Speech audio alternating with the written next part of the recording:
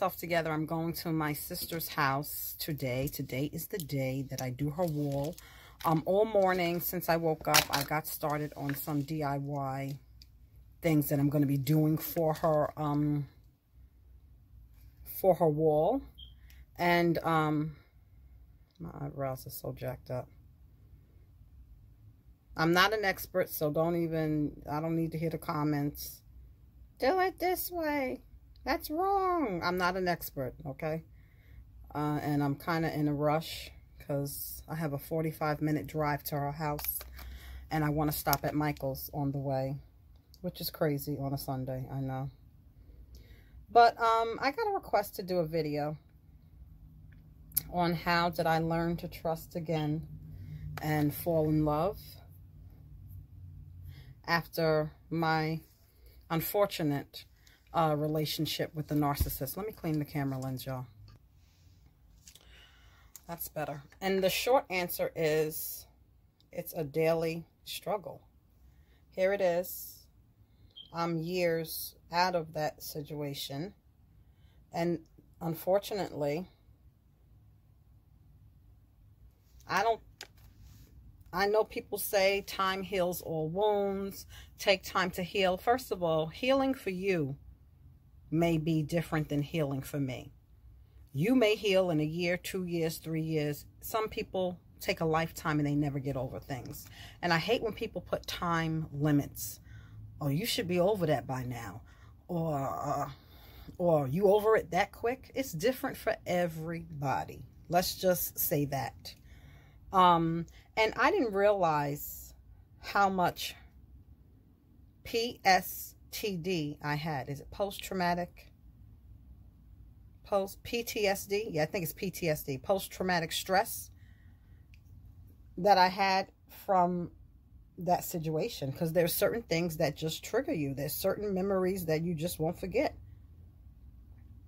And I also would like to start off and say um, that you what was I going to say? Oh, not everyone is a narcissist. And I'm seeing now that that term is every every anybody who do you wrong or does somebody wrong, oh, she's a narcissist. He's a narcissist. Oh, he's so narcissistic. Let's be clear. Not everybody who is a scumbag, who's a cheater, who's a manipulator, who lies is a narcissist. And everybody is on that bandwagon now. If you go on YouTube, there's so many people talking about the subject. And I'm not saying that they don't have good intentions, but some people I think it's just um, a money thing, okay? And it's wrong. It really is wrong. AKA, for example, Derrick Jaxn. Now he's talking about narcissists. Um, what relationship? Tell us about your relationship that makes you a relationship guru. I can't stand him, but anyway. I don't want to listen to anybody that has not been through it themselves, okay? You can't tell me nothing about uh, dealing with the narcissist if you have not experienced it yourself. And I just don't like the fact that it's so cliche now to call somebody a narcissist and not everyone is a narcissist. So you, you need to understand that as well. But I didn't know who I was dealing with. I was in the relationship with him for three and a half years. And I say out of that three and a half years, we probably had a good six months, okay? And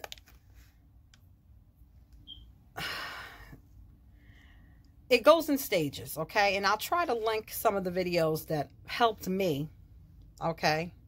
Um, there's one particular person in um, general, and that's ASCC Direct. Um, there's a Kim somebody there's a couple of them and I'll link a few videos to this video and and they helped me understand what I was dealing with because I didn't know what I was dealing with. I, you know, narcissists, some of them have addictions. So he was a alcoholic, binge drinker. And I suspected drug use, but I couldn't really prove it. But it was told to me when I had a conversation with one of his son's mother that he used to be on heavy, heavy drugs. And that's what broke them up years ago.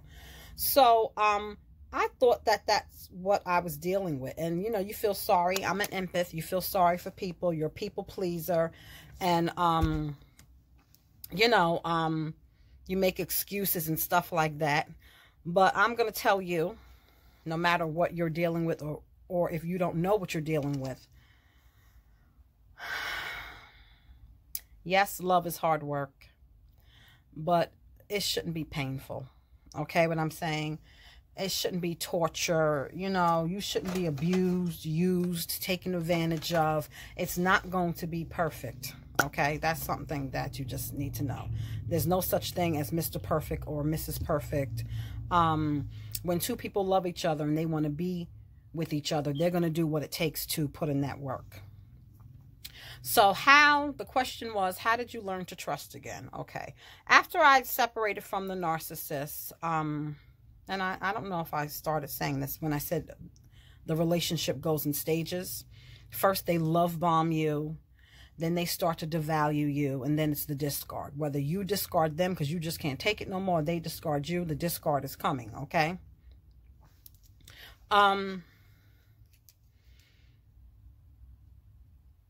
when i met my husband i wasn't looking okay after i separated from the narcissist i dated briefly you know had fun you know what i mean um but quickly realized that there's a lot of people who like to play games out there. Okay. And um, I just was over it. I made up in my mind that I'm done. I never really was single because I was married. My first marriage lasted 19 years. Okay. Got married right out of high school, had kids. We lasted 19 years.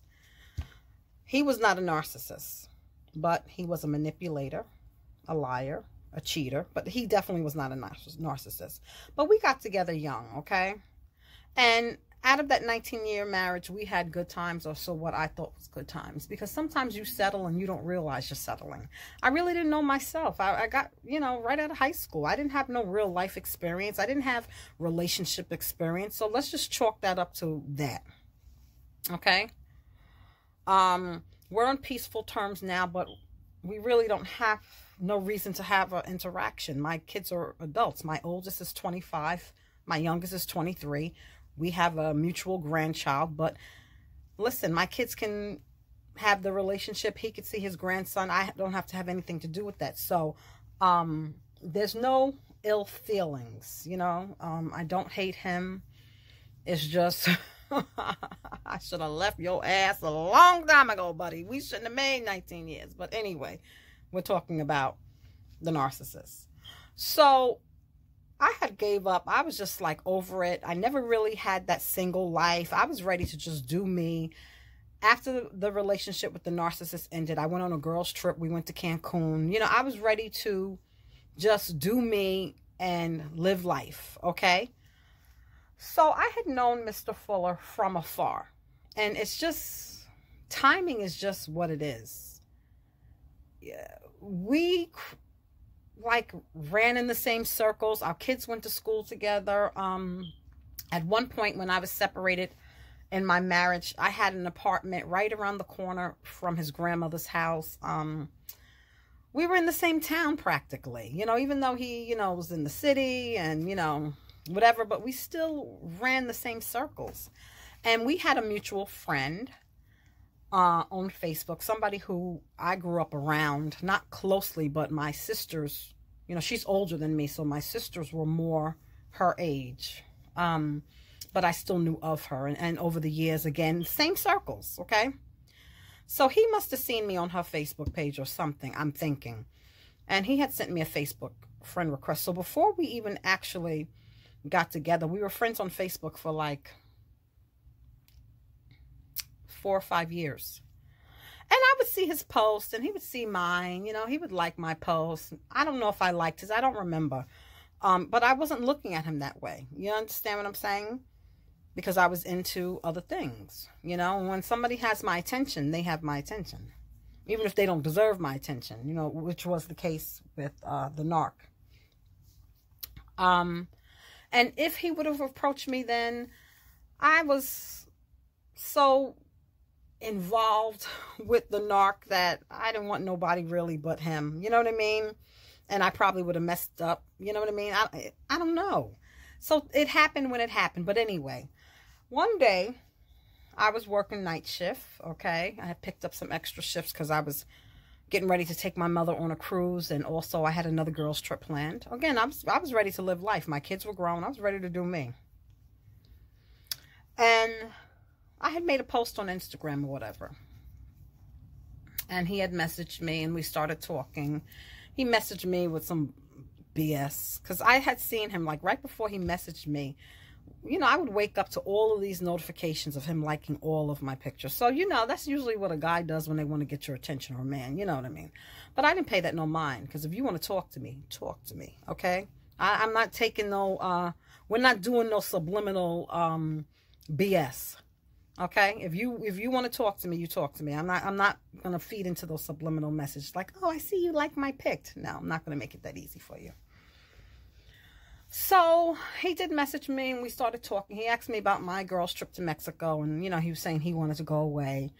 And um I don't know, it came up about single, whatever, relationship status or whatever came up in the conversation. And I thought he was with somebody else because I had seen him out with his, um, that's how close we was. I seen him out, I went out for drinks and I seen him, you know, with his then girlfriend.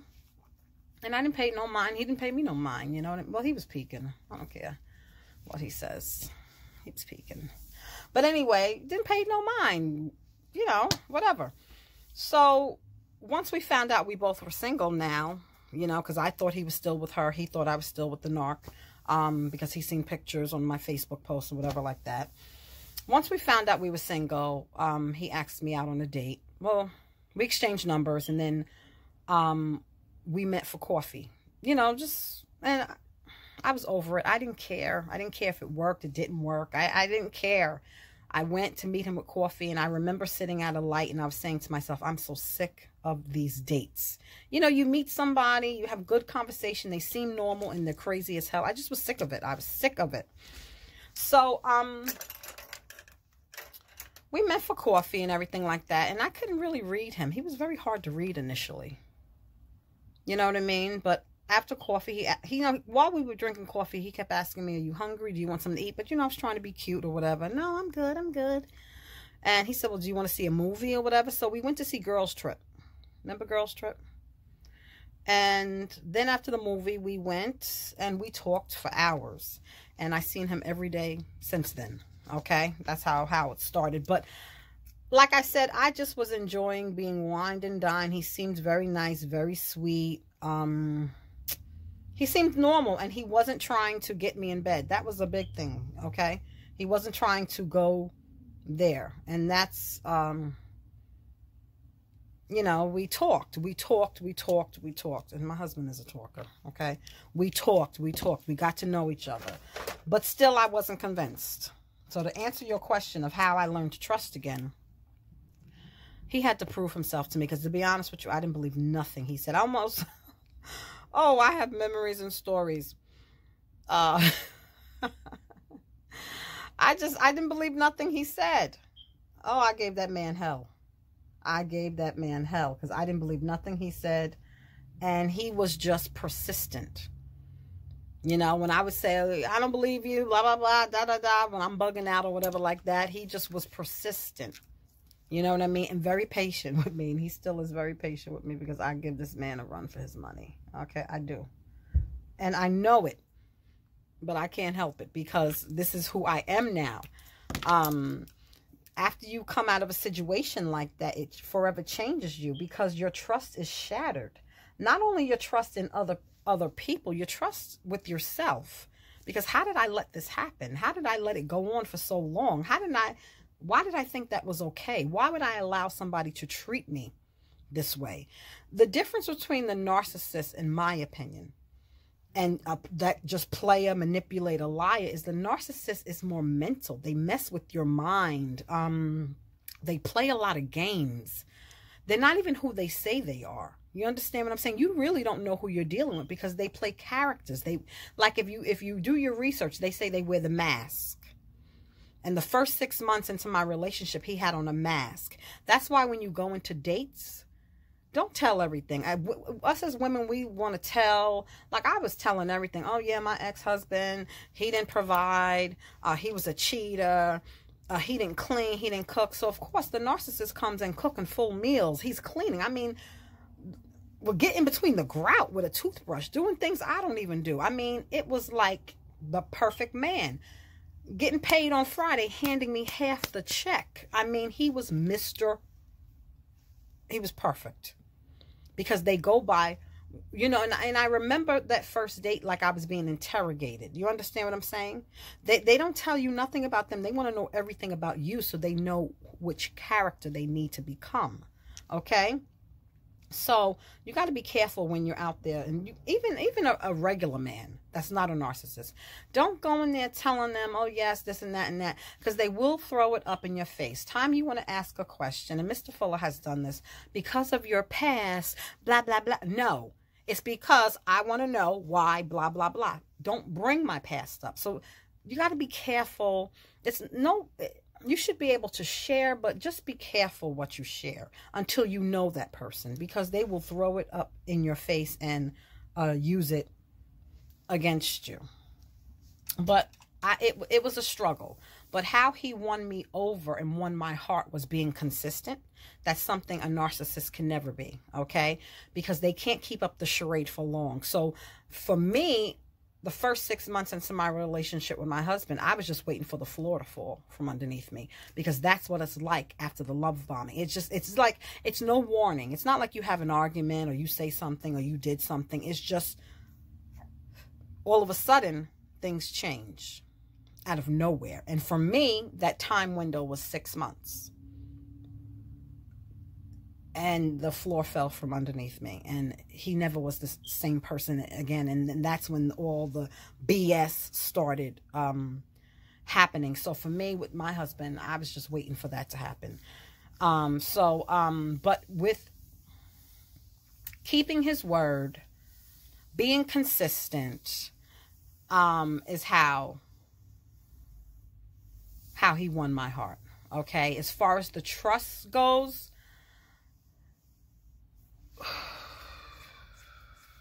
it, it, it still is a daily struggle because I feel like this, and let's just take narcissists out of this situation because you got to remember I was in a marriage with somebody who was, you know, not faithful, um, inconsistent, and all those other things as well. We have to realize that you have you don't have control over another person. They're going to do what they want to do.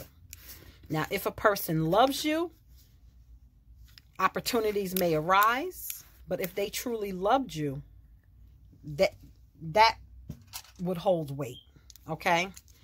That that would make the difference in the situation, okay? A narcissist can never love you. They don't even love themselves. They really have a low self-esteem. Um, it's just so much mental stuff that goes along with it. I mean, this video, I don't even have enough time to go into everything that you deal with when you're dealing with a narcissist. And that's why it upsets me when everybody's using that term differently. It's not the same. Being on being cheated on by just, you know, a regular player is not the same as the games that the narcissist put you through. It's it's a whole bunch of mind fuckery. Excuse my language, but that's what it is. And um it's something that I'm sorry. I know they say time heals all wounds and you're healing. You do heal, but those scars are still there. And some of those scars, just like if you touch it, it's still sore. It's just not something I wish for anybody to go through, but it has changed me. Um, and I feel it's changed me for the better because I've, I'm stronger and certain things that I tolerated in the past, I won't tolerate. And um, I don't know. I'm so guarded when it comes to myself. And um, even my first husband, he had an issue with boundaries and pushing them and stuff like that. And me being the people pleaser, wanting to please and happy and stuff like that, I allowed things that I shouldn't have. And when you hear that saying, you teach people how to treat you, you really do. And what you allow is what will continue. So, a lot of positive has come out of that because when somebody tries to, even my husband, because I felt like there were times, or especially initially, where I felt like boundaries were um, pushed. I am so guarded and protective of myself. I become a crazy person if I feel somebody's trying to take advantage of me. Okay? Because I just, it's just something that you don't want to go through again. It's something that you don't want to allow. And when people worry about well you have to forgive you also have to forgive yourself because it's all it's that question like how did i let this happen like why would i let this happen and that's where self-love and everything comes into play because if you really love yourself and narcissists manipulators liars and users they prey on people who have low, low self-esteem because how else will you i mean that's the only way i could how else will you allow somebody to do these things to you. You have no control over what they do. But if you allow it to continue, that's what you have the control over. You have no control over the incident happening, whether somebody's cheated on you, somebody lied to you, took advantage of you, used you. Okay, they did that. But once you know they're doing that, do you stay or do you go? That's where your power comes in. And if you stay, they're going to think, well, hey, I can do it. She ain't going nowhere. You understand? I got her. I got it like that. You know what I mean? And that was what was happening in my marriage and also with the narcissist. So when I feel Mr. Fuller is pushing boundaries or does something I don't like, I'm a crazy person because hell no. I'm not I'm not going through the bullshit. You know what I mean? And and he's nothing like them, but I'm just saying if I felt there was a situation where, you know, boundaries were being pushed because I was a doormat, you know, and I it's hard to admit that. It's really hard to admit that, you know, you allowed this this to happen and and to accept it that you know, you do play a part. And why would you want to play that part? You know, why would you want to play that part? So it's it's a daily thing because there are certain situations, you know, like the narcissist used to disappear to the city a lot, okay? and not come back for days, okay? So, you know, my husband's in the city. He gets his hair cut in the city. He used to work in the city. So there's been certain instances where, you know, you're like, oh God, I hope I'm not going to go. You know, it's just post-traumatic stress disorder, you know, and, and it, it doesn't even have to be anything that he did and he's not doing anything wrong. He's doing his same routine that he's done for years, years before he met me. But because of what I dealt with in the past, yeah, it's hard to trust again. But you just, you have to just realize you can't live with that constant fear. Is he going to do what he did? Is he going to do it? You can't live with that constant fear. You have to just know that if a person truly loves you, they'll have self-control. Okay? And if a person truly loves you, they wouldn't do those things a person tells you how they feel about you. I was always questioning how the narc really felt about me because his actions obviously didn't line up to the words. The words were there, but the actions wasn't. So I was, it was confusion to me. But I know now coming out of that, a person's actions tell you how they really feel about you. If a person loves you, they're not going to be doing this, this, this, and this, and this, and that. You know what I mean? Now, don't get me wrong. A person can love you and still hurt you. A person can love you and still disappoint you. Okay? That can happen. But it's not the same thing as somebody intentionally. When the narcissist gets with you, they, they, they, they already know the plan. They already know that you're just another source of supply. They already know the same game. They already know how it's going to go. They already know how it's going to end okay? But they play that mind games. They future fake. Like my narc talked about marriage and even called me his wife. He even bought rings and stupid me. I'm I'm walking around with a ring like I'm married and and of course in front of me when we go he got his ring on, but trust me, I seen a picture of him when he was with his son's mother that he sent me on the phone, your ring ain't on. Okay? So and I let that slide. Like, oh, well, he probably had to take it off because she wouldn't let him see the baby if she thought. Excuses Stop making excuses for people. Stop making excuses for people that disrespect you. Stop making excuses for people who lie to you. I made excuses. Oh, he has a drinking problem. He was abused. He gave me the story. He was abused by his mother. He was molested by the babysitter. And I'm not taking away from people that have those issues. I'm not. But that does not give you the right to lie to me, cheat on me, use me, hurt me. Go get therapy. That's all I'm saying. And you can't, you, you love can't you can't love somebody into men, good mental health. You can't love somebody. I mean, don't get me wrong. Somebody supporting you, somebody loving you, yes, yes, that does feel good. But what I'm trying to say is these people have issues that you can't fix, okay? And you'll be done drive yourself crazy and um, be on medication or something else trying to help them you have to know when to move on and to let go. So I, I still deal with things. I, I, you know, even though I'm years out of it, I still deal with things. I would be lying to you if I said that I don't have certain flashbacks that bother me. A, a certain place. There's a Dollar Tree I like in Commack. Not my favorite one. There's one down the road. That's next to a bowling alley. The last New Year's that we spent together, we went to a party at the bowling alley. And every time I go in that parking lot, I think about that. Even with my ex-husband, he ruined my 30th birthday. He was cheating on me at somebody at work. He was so cold and mean.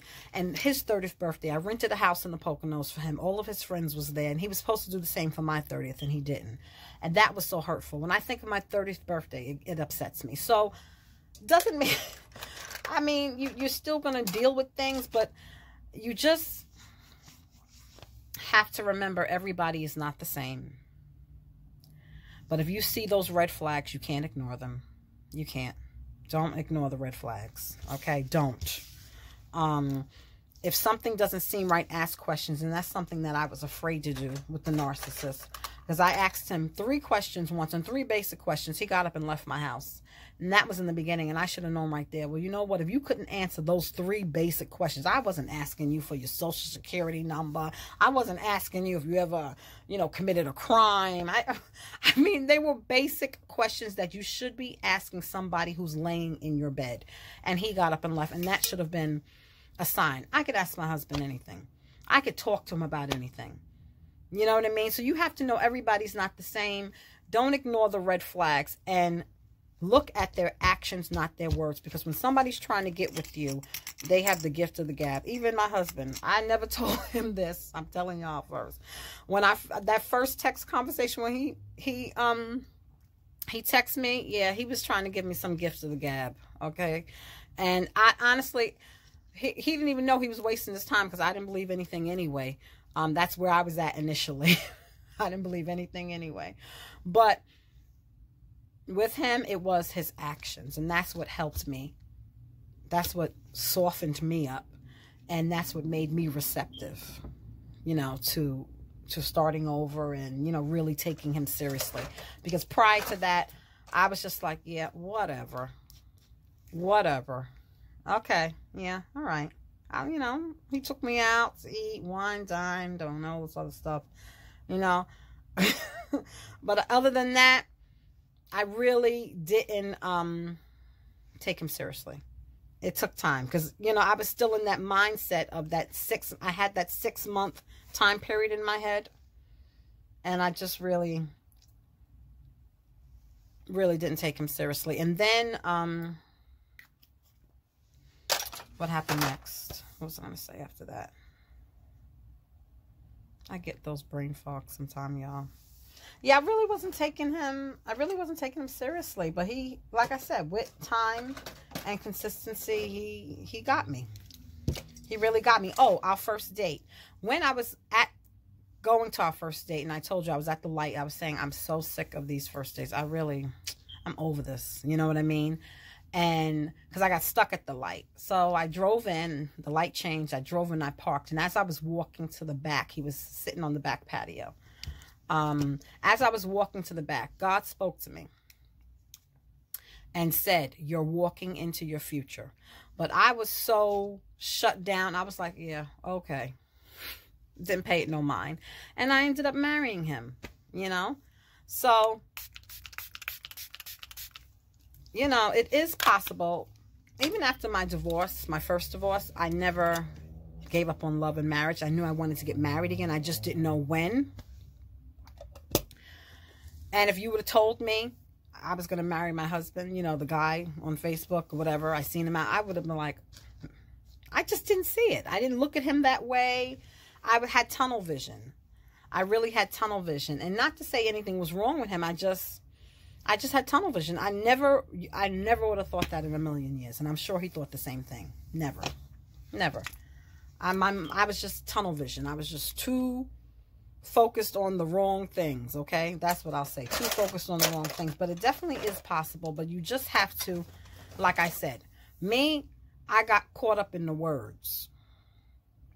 And you can't listen to a person's words. Somebody saying, I love you, that's just words. But how do they treat you? And when somebody truly loves you, you'll know the difference. I didn't have those questions that I had. I didn't even have doubts when, you know, people are getting married. Is it, are we ready? Are we not ready? Um, is it the right thing? I already knew I could never marry the narcissist, and I ended up paying for my first divorce, so I wasn't trying to pay for a second one. So I already knew that. So when he talked about the marriage and stuff, I already knew it wasn't. Even though I wanted to get married again, I knew I knew it wasn't going to be him. And um, with my husband, I just didn't have those fears. I didn't have, you know, the cold feet or nothing like that. I, I didn't have that. And that's all I can tell you. But like I said, it, it was his his consistency in action. And like I said, when somebody loves you, you will know it. You don't have to question it. You don't have to guess it. You don't have to wonder what his intentions or his plans are because you will know. You definitely will know. Um, I got to pick out some hair around my head. And uh, I do this wall. I'm excited. So I hope I answered your question, girl. I hope I didn't make you more confused. But it, like I said, it's still a daily struggle. You know, like if he, if, if, if Mr. Fuller went to the city and I didn't hear from him for a couple hours, the, the voice in the back head, well, I wonder what he's doing. You know, because you of the fuckery I dealt with before. You see what I'm saying? Um, but what I will say, whenever I had those thoughts or those things, then all of a sudden I would get a text or a phone call. He would call me, say, "Hey, babe, what's up?" You know what I mean? Um, I don't know. It's just you're you're scarred.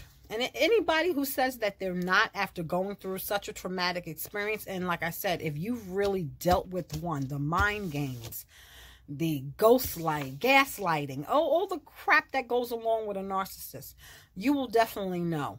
It's not the same as what I went through in my first marriage. Even though similar stuff happened, it's not the same. I just can't I can't explain it. And I like that's what I'm saying. When I see people on Facebook and they're talking, I mean on YouTube and they're talking about the subject and they never been through it, I don't want to I don't want to hear from you because you don't have a clue of what you're talking about. And there are people that are truly going through it, suffering. I still watch videos because it's not just the romantic relationship with the narcissist. It could be a child, it could be a parent, it could be a coworker, um, it could be a friend. I had a female friend that now I know that's what she was. I just thought she was crazy. Same thing with the narc. I just thought they were a little off. And I'm a nurse.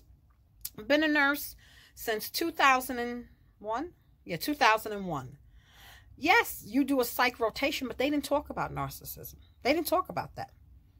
Now it's more talked about, and now it's out there, and there's a lot of resources out there for people who are dealing with it. But I didn't know what I was dealing with. I thought he was just an alcoholic, drug addict, and just crazy. You know, he was abused. You know, he had issues, and you know his relationship with his mom. They say how a man treats his mom, that's how he'll treat his woman. So I'm thinking it's all, you know, a whole bunch of mess. And I thought she had her issues too, but no. I even think Chunk's father, my son, you know because somebody they say some people can have narcissistic traits but not you know or um you know tendencies but not you know be a full-blown one but it's real that's why i don't like you know if anybody's you know doing videos and um or just want to talk about it because it's a hot topic right now and they haven't really been through it and you have people that are really going through it hurting and looking up to you i just think that's wrong you know what i mean if you're doing it for that reason you know what I mean? But, um, you know, it is what it is. I hope I didn't confuse you, girl. I really hope you didn't. But it's it's an ongoing, it still is a daily thing because there are certain things that the scars are still there. And I really didn't realize how much damage it really did to me, to be honest with you. I'm not going to lie. I'm not going to lie. I really didn't realize how much damage it did to me. I really didn't realize until certain things come up, certain flashbacks. I'm I'm telling you, it's still it sticks with you for a while. And for some people, I, I, I read stories because, like I said, I still watch videos. I read stories of people who are still going through it and they've been at it for years. I, I read stories of people that are still in it and they don't know how to get out. And I feel the worst for them because there is a way out. There is life after the narcissist. There is life. There is happiness. There's peace. You know what I mean? I look at pictures of me when I was with the narc and I look at pictures of me now. I feel like a different person. I am a different person. And people credit all of that to my husband. Yes, he's a, a, a part of it and he's, you know, but I was living in hell and a lot of people didn't know. You understand what I'm saying? I was literally living in hell. You didn't know from one day to the next what to expect. That's why when people label everybody a narcissist, no, everybody's not a narcissist. That's not true. Let me get some hair on my head, y'all. And to end this video, I'm going to say self-respect and self-love will help you avoid a lot of BS. Because when you respect yourself, when you love yourself, you're not going to allow anybody just to treat you any old kind of way. And you won't be afraid to say, you know what, I'll just be by myself. And that's the stage I was at when I first met my husband. I was prepared to be alone forever how long it took. I just was done done with being used, abused, or whatever. And you have to get to that point, and even now, no matter who you're with, you can't put them before yourself. And that's something that I always did. I always put myself last. Now, I put myself first. And it's not being selfish. Um, it's very necessary because you can't help nobody else if you're not taken care of, if you're not okay, how can you help somebody else? How can you love somebody else if you don't love yourself? So I hope this video answered your question, girl. But it is something that's going to stick with you. I don't know your situation, but it is something that's going to stick with you for a while, maybe for life. Um, but it doesn't mean that it consumes you, it controls you, and that you can't have happiness and you can't have peace. But it's just an experience that you'll never forget. And maybe that's a good thing. Because sometimes people in relationships they go through drama, BS, and then they jump right back into another one. Like, you understand? They go from relationship to relationship. It is possible to go from narc to narc to narc to narc if you don't work on yourself and make some changes. Fix those things that made you vulnerable or um, susceptible in the first place to be picked to be supply. Because they see you they see right through you. They know your strengths, your weaknesses. They know if you have self esteem issues, they know. And trust me, they will use it against you. They will use it against you. Okay, so um, that's about it. So any other questions, let me know. Thanks for watching. I'm headed to my sister's house. Michael's craft store, then my sister's house. Talk to you soon.